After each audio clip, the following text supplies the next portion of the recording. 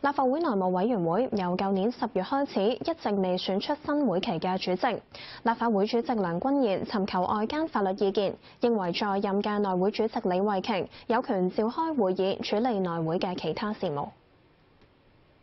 金大律師係認為郭榮亨議員喺選舉主席時所採用嘅方法，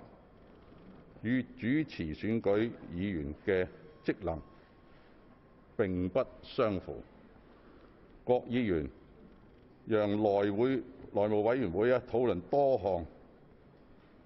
難以係睇到如何與內會主席選舉相關嘅事項同埋議案。秘書處同埋外間嘅資深大律師都認為喺目前嘅情況之下，現任內會主席李慧瓊議員係有責任同埋權力去處理因選舉主席出現過度延而引致嘅問題，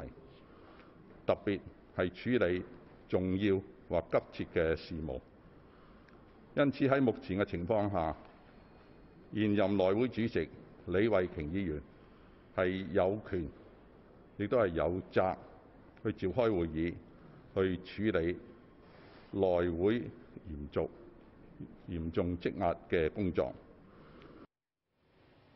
立法會尋求嘅外間法律意見嚟自資深大律師余若海同孫成剛，佢哋認為議事規則同內務守則旨在令立法會可以妥為運作。由於內會新會期開始超過六個月，仍然未選出新任主席，上年度主席目前仍然在任嘅李慧瓊必須承擔職務同責任，以主席身份行事，召開會議處理內會事務。特別係急切或者重要事務，但係唔可以主持自己有份競爭嘅選主席環節。呢一個法律意見同舊年十月立法會法律顧問嘅意見唔同。當時法律顧問指主席選舉係各個委員會首項事務，喺完成選主席之前唔能夠處理其他事務。梁君彥話已經